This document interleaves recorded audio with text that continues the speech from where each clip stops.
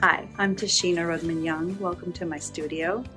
I have a square in the corner of a shared space at Art Explosion in the Dogpatch in San Francisco.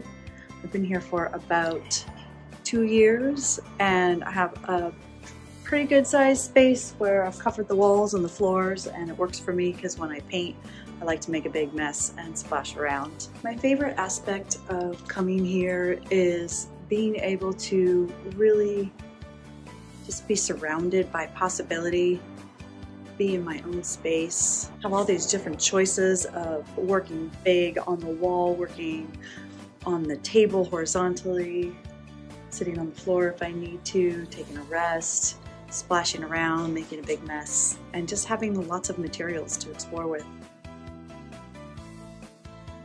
I love color and light and texture and energy and motion and expansiveness and the opportunity of creativity to provide a space for all of that for all of us. I also love to teach. I love to do private sessions and group sessions once COVID ends. I love to share that, that possibility and that gift that creativity gives us to connect and be with ourselves and also to connect with other people.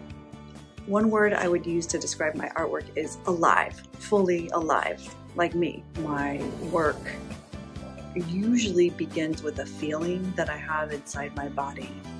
Sometimes it's something that I see that's incredibly beautiful, but most often it's a feeling.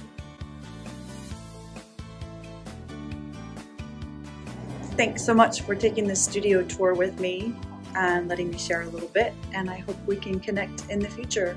Please follow me at Tachina Rudman Arts on Instagram or visit my website, rudmanfineart.com.